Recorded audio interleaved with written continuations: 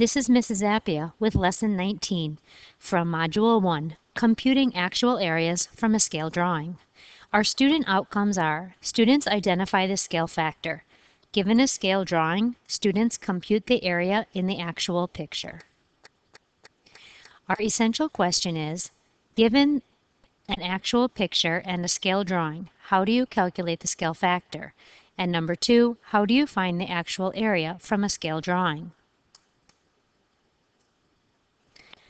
Example 1. Exploring area relationships. Use the diagram below to find the scale factor and then find the area of each factor, of each figure. We're going to set up a table and label your actual drawing and your scale drawing. And we know that the actual is the independent variable and the scale drawing is the y. Then we'll record the lengths from each figure. The actual picture has a length of 4 and the scale drawing has a length of 8. To calculate the scale factor, that's y divided by x. So 8 divided by 4. 8 divided by 4 is 2. So our scale factor is 2. The actual area is length times width air actual area equals length times width.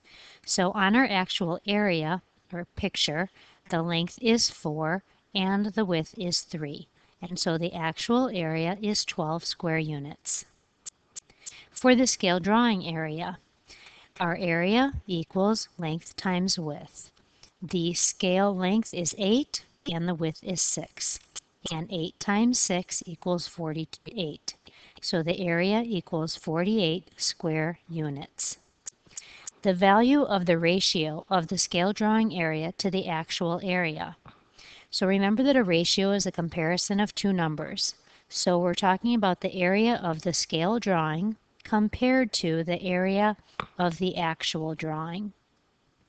The area of the scale drawing was 48.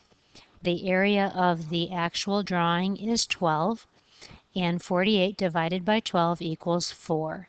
So the value of the ratio is 4. Example 2. Pause the video and complete the problem, and then resume the video to check the answer.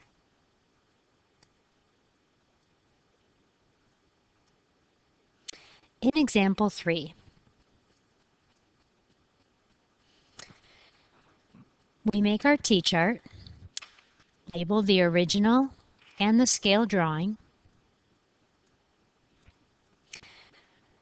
We'll use the base. The actual base is 6 units and the scale drawing base is 8 units. Now we can calculate our scale factor. That's y divided by x. So 8 divided by 6 and that has a value of 4 thirds. So our scale factor is 4 thirds or 1 and 1 third. The actual area. These are triangles and the area formula for a triangle is 1 half times base times height. So for the actual area, we've got 1 half times 6 for the base and 9 for the height.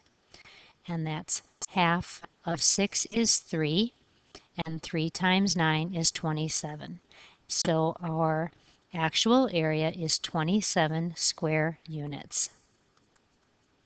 Then our scale drawing area, we are going to use the same formula. Area equals 1 half times base times height.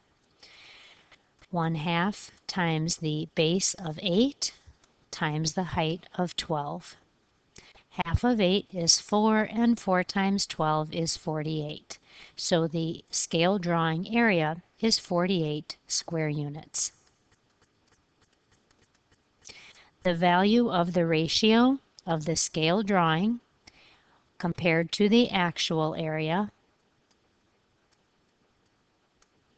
The scale area was 48 and the actual area is 27.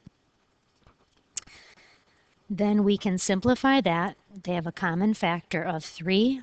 And so in simplest form, that fraction is 16 ninths. So that is the value of the ratio that compares the scale drawing area to the actual area. So the results, what do you notice about the ratio of the areas in examples 1 through 3? Complete the statements below. When the scale factor for the sides was 2, what then the value of the ratio of the area? So this was example 1, and we had a scale factor of 2. And the question is, what was the ratio of the area? And so the ratio of the areas from that example was 4. Then when the scale factor of the sides was one third, so we had a scale factor of one third, and then the value of the ratio of the area was one ninth. And in example three, when the scale factor was four thirds, then the ratio of the area was 16 ninths. Based on these observations, what conclusions can you draw about the scale factor and the area? So look at the relationship between the numbers. The relationship between 2 and 4, the relationship between 1 third and 1 ninth, the relationship between 4 thirds and 16 ninths. And do you notice anything about those numbers?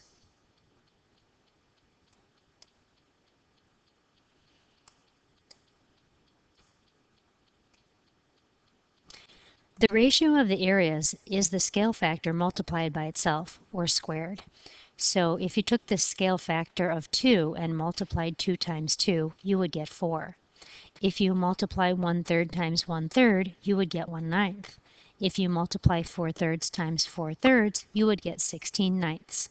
So the ratio of the area is the scale factor multiplied by itself, or you could say that it was squared. If the scale factor of the sides is r, then the ratio of the areas is r squared to 1. The scale factor is r, then the ratios of the area is r squared to 1. You could also think of it as a fraction, r squared over 1, if you write the ratio as a fraction.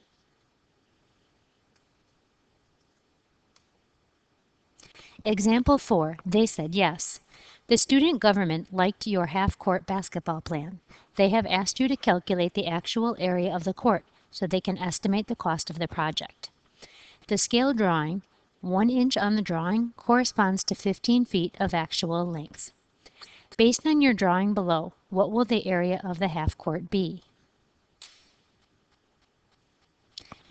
In order to calculate the actual area, we need to know the actual dimensions. And we can make a t-chart to figure that out. We've got the actual and the scale drawing. And we know that the length of the scale drawing is 2 inches and the width of the scale drawing is 1 and 2 thirds inches. And we know that the scale is one inch on the drawing, corresponds to 15 feet of actual length. We can use this row to calculate our scale factor. 1 divided by 15. 1 divided by 15 is 1 15th. So when our actual is 1, then our scale factor will be 1 15th. We can use that scale factor to find the actual measurements now for the length and the width. 2 divided by the scale factor of 1 15th and 1 and 2 thirds divided by 1 15th. And those are going to give us our actual measurements. Those actual measurements are 30 feet and 25 feet. Now that we know the actual measurements, we can find the area, the area of the court. We know that the area formula for a rectangle is length times width. And the length was 30 and the width is 25. So the area 30 times 25 gives us our total square feet, 750 square feet, for the basketball court.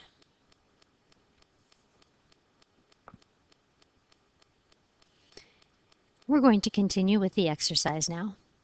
The triangle depicted by the drawing has an actual area of 36 square units. What is the scale of the drawing? Note that each square on the grid has a length of one unit.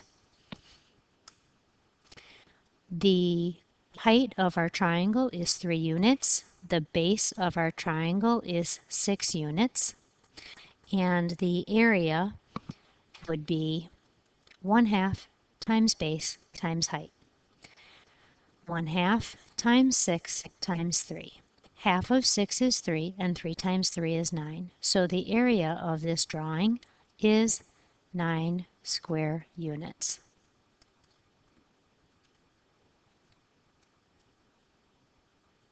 Next, we'll make a table to organize our data. We've got the original, or the actual, as our independent x variable, and our y, which is our dependent variable, is the scale drawing. And we know that the area of this the drawing is 9 square units, and we know that the actual area is 36 square units. Then let's calculate the scale of the drawing. So we have 9 over 36. 9 divided by 36, that's y divided by x. So 9 divided by 36. And that is going to equal r squared. Then we've got the 9 and the 36. So we know that these two numbers multiplied together must equal 9, and these two numbers multiplied together must equal 36. And we know that 3 times 3 is 9, and 6 times 6 is 36. And so that means that R is equal to 3 sixths, and simplified, it would be 1 half. So 1 half is our scale factor.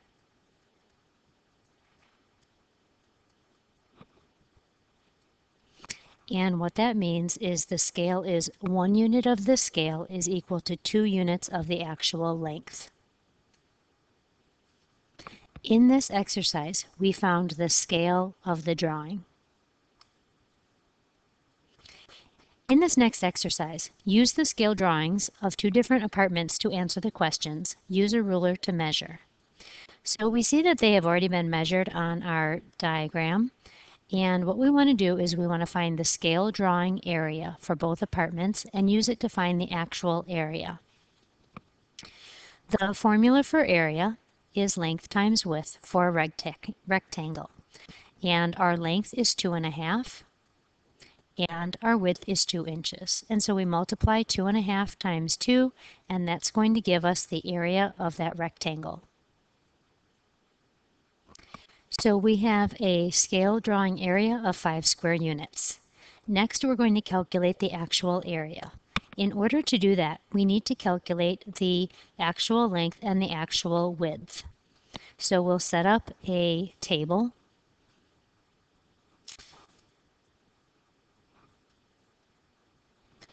And I've created the actual and the scale drawing columns. I put in the length and the width from the scale drawing and next I want to calculate what the scale factor is. The scale is one inch on the scale drawing, represents 12 feet in the actual room. Next, calculate your scale factor. So 1 divided by 12. 1 divided by 12 is 1 12th. And that means that 1 foot in the actual is represented by 1 12th of an inch. So our scale factor is 1 12th, and we can use that to calculate the actual dimensions. That's the scale factor. So here we have 2.5 divided by a 12th and 2 divided by a 12th.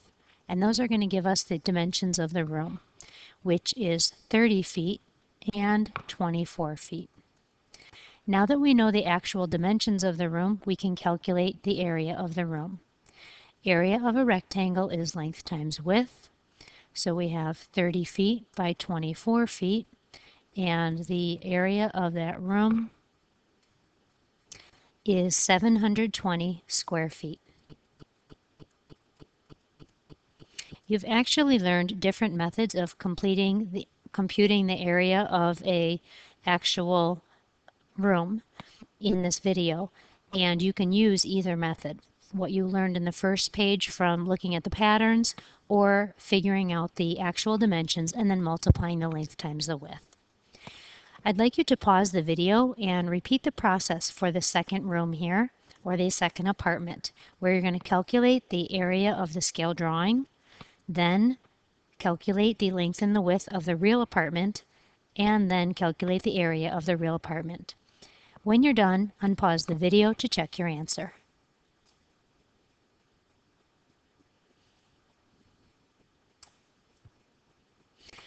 In this lesson, you have learned Given the scale factor r, representing the relationship between the scale drawing length and the actual length, the square of this scale factor, r square, represents the relationship between the scale drawing area and the actual area. For example, if 1 inch on the scale drawing represents 4 inches of the actual length, then the scale factor r is 1 over 4. On this same drawing, 1 square inch of scale drawing area would represent 16 square inches of actual area, since r squared is 1 16th.